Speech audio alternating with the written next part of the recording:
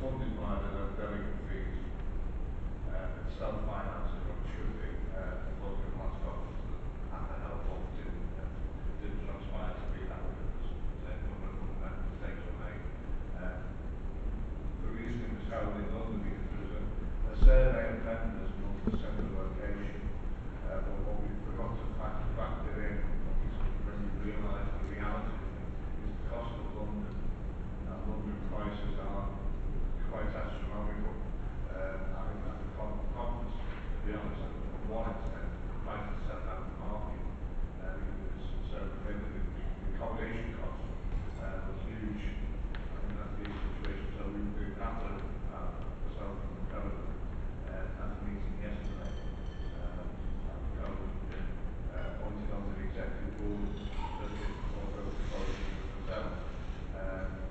so we are working forward to make sure that we, that we, we are now ta- putting our time with London and trying to centralise most of it back to Manchester.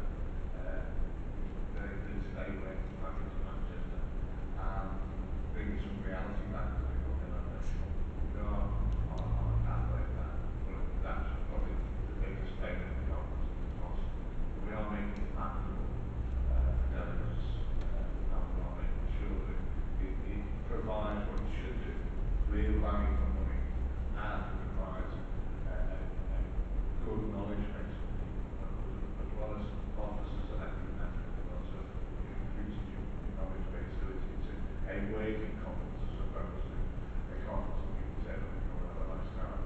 Uh, you know, that there's always some time for, for leisure, but there's also a real working conference. So we are working on, Gail's working on getting speakers to come uh, to the conference uh, to, to expand on the program.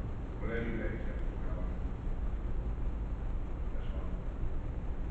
Um, I would recommend that we invite Professor Tom Solomon to attend the, the lecture because his, uh, somebody was talking about so somebody um, amazing.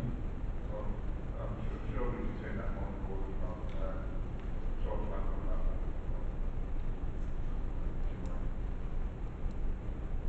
Members of the committee, I've been advised of one further item of additional business in relation to the financial status of the Port Health Authority, the content of which relates to the financial or business affairs of the City Council, authorities and third parties.